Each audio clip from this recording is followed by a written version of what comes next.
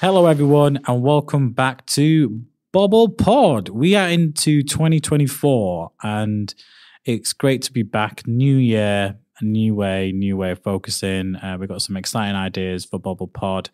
Um, and I'm sad to say this will be the first of two episodes that we will be launching in January before we take a bit of a break um, and come back in basically early spring.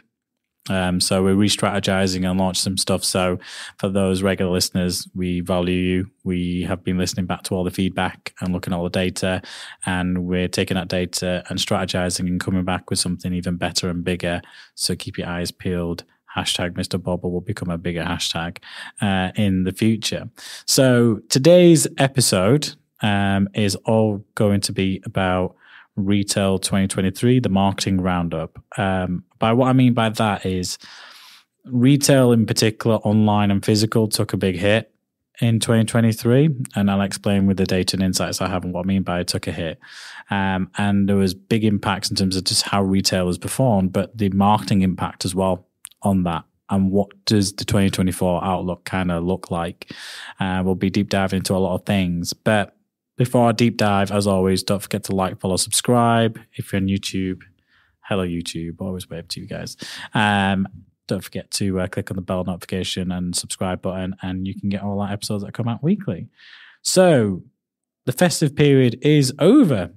Everyone's back into the swing of things. Are you, Callum? You back into the swing of things? It, yes, it's it's um, been a bit of a slower restart than I'd like, but a nice restart in a way, just sort of getting back into things, sort of looking at, you know, what I've got planned ahead for the year and just having a, a you know, taking it, taking it steady in 2024 is my sort of main aim is just to be a, a nice chilled out year, really.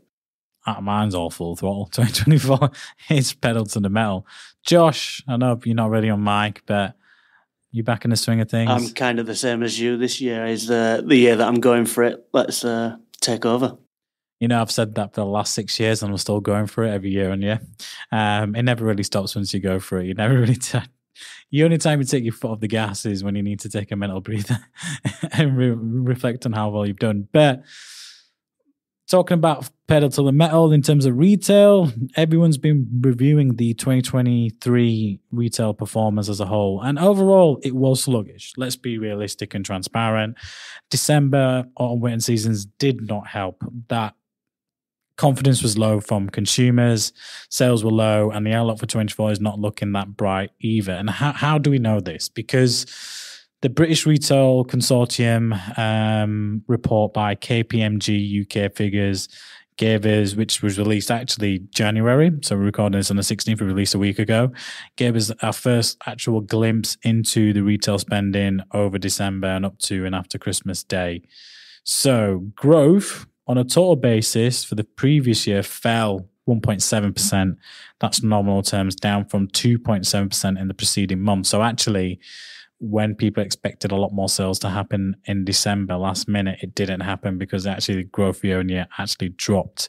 When we zoom out of that data a little, growth averaged at a respectable 3.6% over the whole of 2023 through what we call even with inflationary uh, pressures, nominal values. Um, last month's sales performance was moreover less than stellar um, for many retailers based on what they're expecting. Sales got off to a slow start, uh, and that sudden surge you get, you know, just before Christmas, um, that week preceding towards Christmas, it just wasn't enough to, um, you know, support the sluggish performance throughout the year that people were expecting.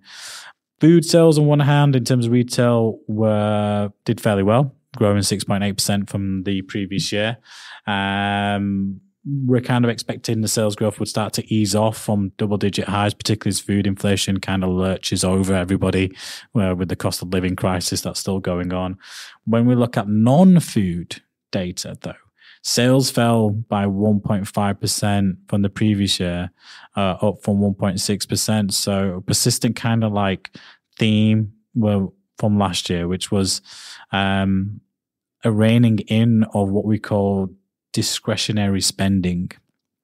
And I'm going to get into that a little bit more. Um, December was no different, despite what we had in terms of festive feels. And, and a quote from Helen Dickinson's on the report said, "The festive period failed to make amends for a challenging year of sluggish retail sales growth, as weak consumer confidence continued to hold back spending."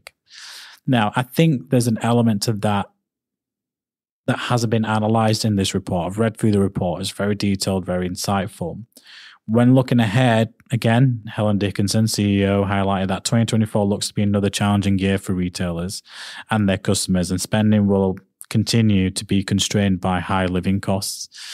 Now, that's just an overview of how it's kind of performed. It has been down, it hasn't been great. We've seen some of our clients that had ambitious targets, some we hit, some we weren't able to hit.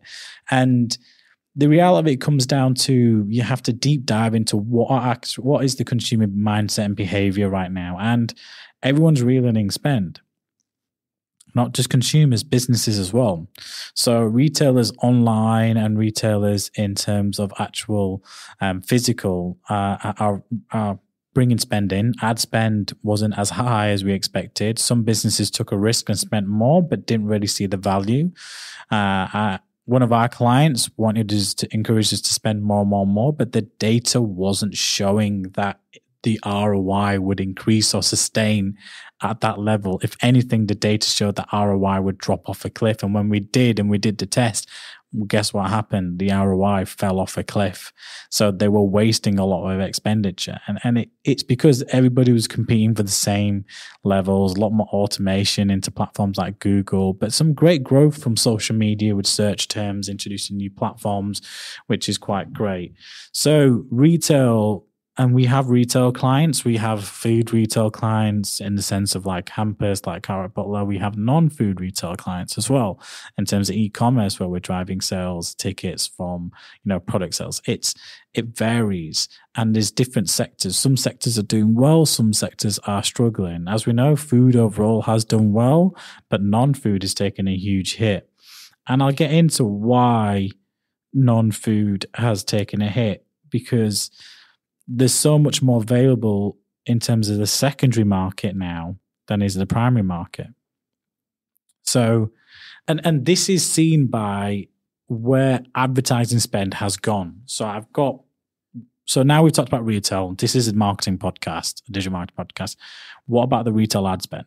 So ad spend increased each quarter last year with a 31% year on year growth in Q1, accelerating to 25% increase in Q2 and then a 17% increase in Q3 2023. And holiday marketing pushing ads investments even higher. What was Q4? We don't even actually have the percentage yet. 70% of all technology retail media went to brands like Amazon and Walmart. So if you're buying tech products, the tech retailer was basically Amazon Walmart globally. Um, that took 70% of most ad spend. Um, 6% of home goods uh, targeted, guess what? Amazon and Walmart sites. 58% of food retail focused on, I'll give you one more guess. Is it Walmart? Amazon and Walmart. Don't forget, Amazon has its food element. Don't forget, it made a 13 billion purchase of, um, is it Whole Food? Whole Food? Who was it? No, Morrison's in the UK, but they spent 13 billion buying fresh foods, was it? I'm not sure. Whole Foods, fresh foods someone comment if you're watching this. Uh, um, but I remember the boy, and I remember the share price increasing to 15 billion. So they actually made 2 billion by buying the company out on share price value alone.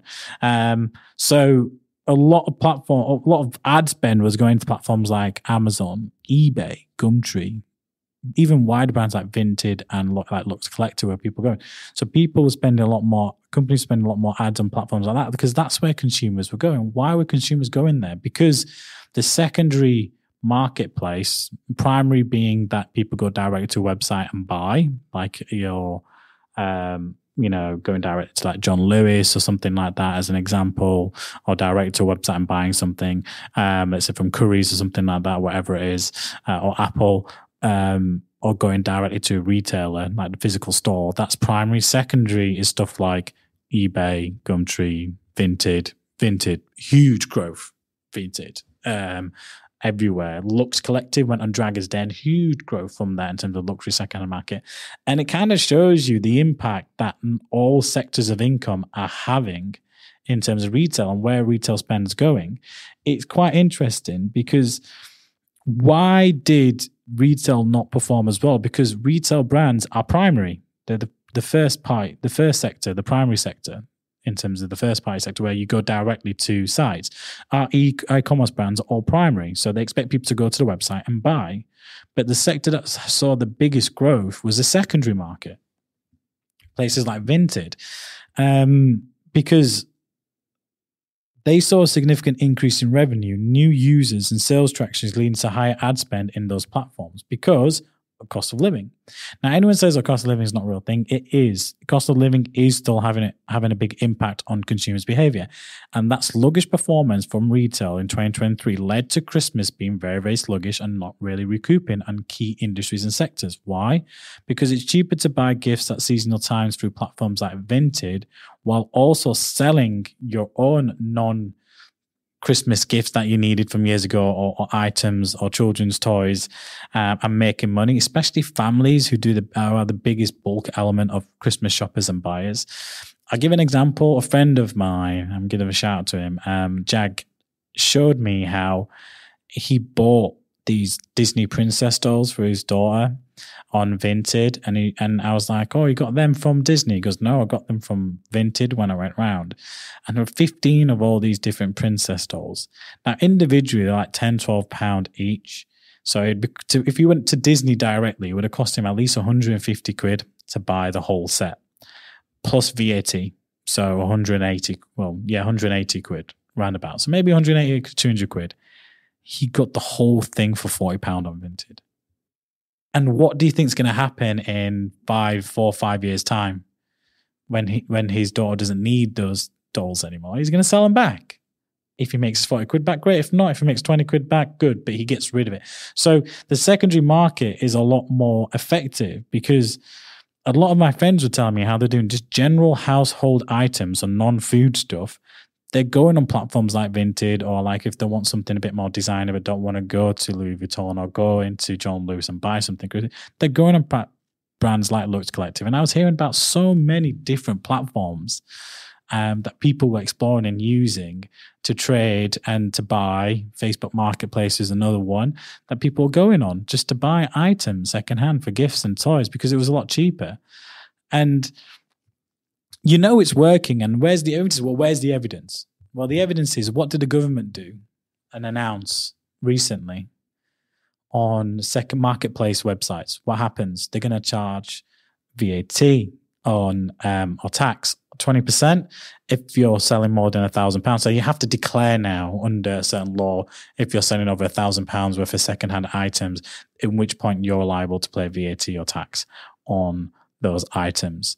Um, which I call because if I have bought this laptop directly from Microsoft at 1200 quid or whatever it is, and I pay VAT on top of that, and I want to sell it for 600 quid in a couple of years' time because I've got the new one and I don't want the old one and I don't want to trade it in because I'm getting better value to start second hand.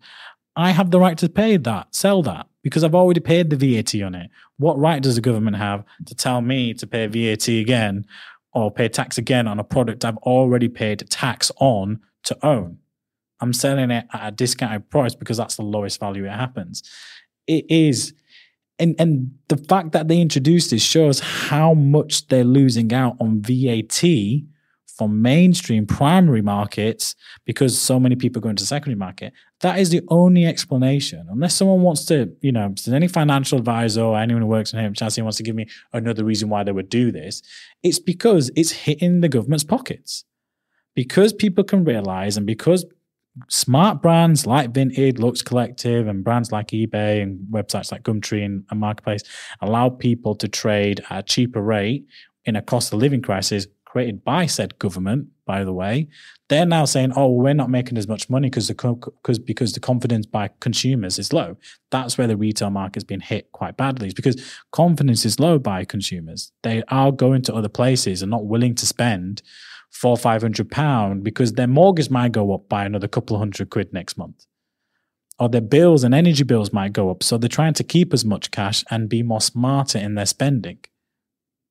So when some of our clients didn't achieve the results they have, that is the explanation. And the evidence is there because the government introduced uh, a new law where you, if you if you're selling more than a thousand pounds, you have to declare it because it's liable to a kind of like income uh, tax or VAT on products that should be charged because the government's missing out and the government's realizing, hang on, where is all this VAT money going?